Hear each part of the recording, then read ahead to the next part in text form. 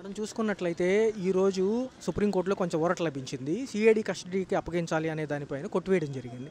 హైకోర్టులో కొంచెం చిక్కెదిరైనప్పటికీ కూడా అంత సార సామరస్యంగానే ఉంది. రేపు కూడా వాదనలు వినపడుతున్నాయి.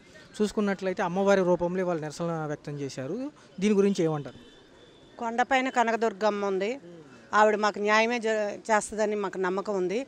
ఎందుకంటే ఈ రోజు రేపైనా ఎప్పుడూ నిజం నిప్పు లాంటిది. అదేం దాగుండదు. మీరేదో దాసేద్దాము ఆ నిప్పుకు చెదలు పట్టిద్దాము అనుకుంటే అది మీ అవివేకం అనుకుంటున్నా.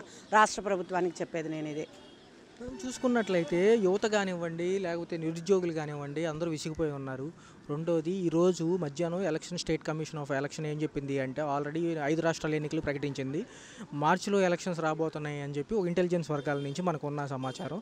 చూసుకుంటే ఇంకొకసారి రాష్ట్ర ప్రజలు నమ్మే పరిస్థితిలో ఉన్నారు ఆయన అడిగింది ఒక్కసారి ఆ ఒక్కసారి ప్రజలు చూసేశారు.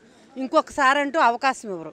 ఎందుకంటే చిన్న వర్గాల దగ్గర నుంచి పెద్దవాళ్ళ వరకు ఏది అందరూ విసిగిపోయారు. ఎందుకు విసిగిపోయారంటే ఎటువంటి పనులు లేవు జాబులు లేవు.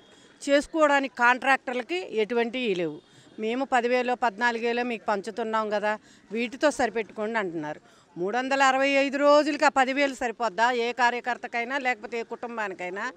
ఈ నెల ఇప్పుడు మనకి నిత్యావసర ధరలు ఆకాశాన్ని అంటుతున్నాయి అటువంటప్పుడు మీకు పనులు చేసుకోవడానికి మీరు ఏం ఉపాధి కల్పన ఏం చూపించారు? ఏం చూపించారని మీకు ఓట్లు వేస్తారు why not one seventy five అనుకోవడానికి? ఇదంతా హాస్యాస్పదం. అది వీళ్ళు నిద్రపోతా కలలు కనేస్తున్నారనమాట మాకే వచ్చేస్తాయి మాకే వచ్చేస్తాయని. మీరు మీ కార్యకర్తల్ని లోకల్లో ప్రజల్లోకి వెళ్ళమనండి. వాళ్ళు చెప్తారు మీకు రిపోర్టు. ఇంటెలిజెంట్ రిపోర్ట్ మీకు వచ్చింది కాబట్టి ఈరోజు చంద్రబాబు గారి మీద ఇటువంటి దురాక్రమణలకి దురా దు- దుశ్చర్యలకి పాల్పడ్డారు. ఇంతకు మించి ఏం లేదు. చూసుకున్నట్లు అయితే ఈరోజు విజయవాడలో పెద్ద మహాసభ పెట్టి ప్రజెంట్ ముఖ్యమంత్రి గారు విరవీగుతున్నారు మళ్ళీ సీఎం నేనే అంటున్నారు. దీన్ని బట్టి చూసుకుంటే రాష్ట్ర ప్రజలు నమ్ముతారంట. మీ జగనన్న సురక్ష పథకం ఎంత బాగా జనాల్లోకి రీచ్ అయ్యిందో మీ వాళ్ళనే కనుక్కోమనండి. మీ ప్రతి పథకం మీరు వస్తమే విధ్వంస కార్యక్రమంతో మొదలుపెట్టారు. ప్ర రాష్ట్ర ప్రభుత్వాన్ని విధ్వంసం చేసుకొచ్చారు. ఏది ఉంచారు? పోలవరాన్ని ఉంచారా? దాన్ని విధ్వంసం చేశారు. రివర్స్ టెండర్ అన్నారు. దాన్ని పక్కకు పంపించేశారు.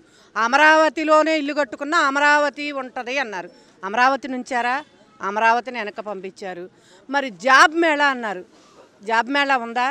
జేబు మేళాలు అయినాయి మీ జేబుల్లోకి ఏమైనా వస్తే దోచుకుంటున్నారు. లేకపోతే జైలు మేళా అయ్యింది.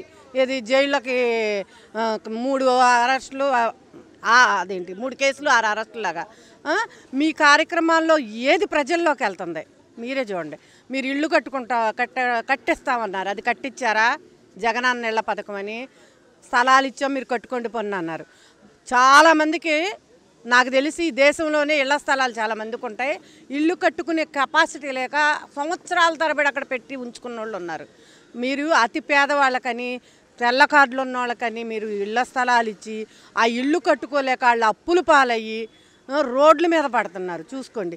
మీ ఏ కార్యక్రమం ప్రజల్లోకి సక్సెస్ అయ్యింది మీ గుండెల మీద చేసుకుని మీ నాయకుల్ని చెప్పమనండి.